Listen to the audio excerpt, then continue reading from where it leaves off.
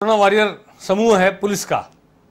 हमने पिछले दिनों गाती रही ज़िंदगी में भी कई गीत सुनाए पुलिस वालों ने लिखे भी गाए भी प्रस्तुत भी किए कविताएँ भी सुनवाई उनकी।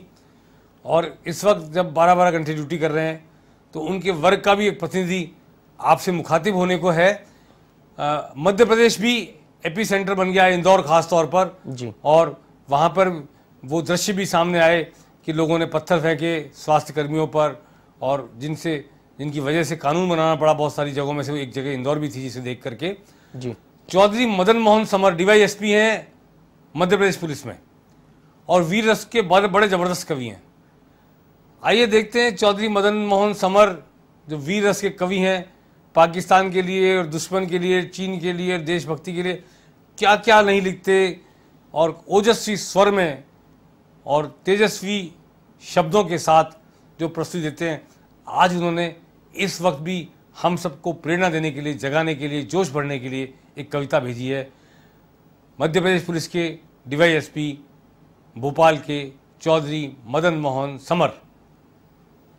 हम अंधेरों से लड़े लड़ते रहेंगे। हूँ विजेता या पराजित। प्रश्न कैसा? बस मुझे ना रीत जलने की कभी। इस समर में शोक भी है चश्म जैसा। दिग्भ्रमितों रास्ते व तम घना हो व समय निष्ठुर निराशा से भरा हो सूझता ना हो तिमिर से जूझना जब सामर्थ्य मन का भी कहीं दुबका डरा हो। उम्मीद का पंछी हुआ हो शव सरीखा, विश्वास रेतीले महल सा टूटता हो, सामने अवसाद का सागर असीमित, उल्लास का तक दूर पीछे छूटता हो। आहटों में अपशगुन का भय सताए हो घुटन में सांस भी दुश्वार जब और हो ना छोर हो घनघोर का, कर न पाए धैर्य भी प्रतिकार इस कठिन से भी कठिनतम वक्त से देखिए, उलझे हमी, झड़पे हमी हैं, बोलने हल्ला सुलग कर आपके संग होने के लिए तड़पे हमी हैं। हम समर्थक हैं सदा परमार्थ के क्षीण हैं, पर आत्मा से हैं प्रबल। हम सुलगना जानते हैं इसलिए रश्मियों का वास हमने है धवल मानते टिक सके ना हम कभी, एक झोंके के जरा से क्रोध पर लिख सके ना हम कहानी भी नहीं आंधियों की राह के प्रतिरोध पर झट डरा देती हवा की तलखियाँ, हम पवन की धौस को भी सह सके ना, यह सही है रुक ठहर इनसे कभी, तान कर सीना अकड़ हम कह सके ना, हम थपेड़ों से कभी ना लड़ सके, अड़ सके ना सामने तूफ़ान के, बोलिए बोलिए बोलिए, फिर क्यों सजाया जा रहा भोर संध्या द्वार पर भगवान के। बोलिए फिर क्यों बताया जा रहा? बोलिए फिर क्यों बताया जा रहा? वंशजों सा हमें दिनमान का। बोलिए प्रतिमान कैसे हो गया? दीप नन्ना जागरण के कान का। कुछ तो है हम में, हमारे भाग्य में। कुछ तो है हम में, हमारे भाग्य में। ईश के समकक्ष होकर हम पुजे। जिस जगह पर हम जले आबाद वो, वीरानियाँ पसरी जहाँ पर हम पुजे। प्रेरणा के पथ हमी ने है रचे। हम भटकतों की दिशा का बोध हैं।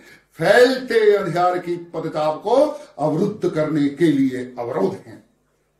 देखिए संघर्ष की अवधारणा के शोध पत्रों को समूचा बांच कर शूर वीरों से लगाकर संत तक सब चढ़े हैं हमारी आँच पर। स्वयं प्रकाशित हो प्रथम जो सूर्य था वो दीप की मजबूरियों पर मुस्कुराए। चकमकी संघर्ष से भयभीत जो अधिकार क्या वो जुगनुओं को मुँह चढ़ाए तो टिमटिमाते से उजाले ही सही, या कहो तुम दीप तल में तम लिए। हम जले हैं और जलते ही रहेंगे, जगमगाने का प्रखर पर चम लिए। तो सुप्त होकर सुप्त होकर सुप्त होकर स्वप्न लखने की तजो। चक्षुओं को दग्ध कर जगना पड़ेगा। रोशनी के ग्रंथ में गर है उकरना, तप्त दीपों की तरह दगना पड़ेगा। तो आइए तो आइए आइए संघर्ष करने को कतारों में लगे।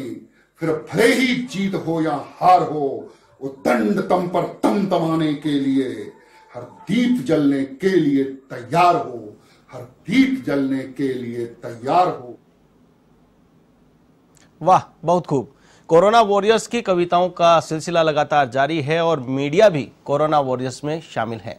और हमारे साथ हमारे चैनल हेड मौजूद हैं और कभी कभी कवि की भूमिका में भी आप नज़र आते हैं, सर।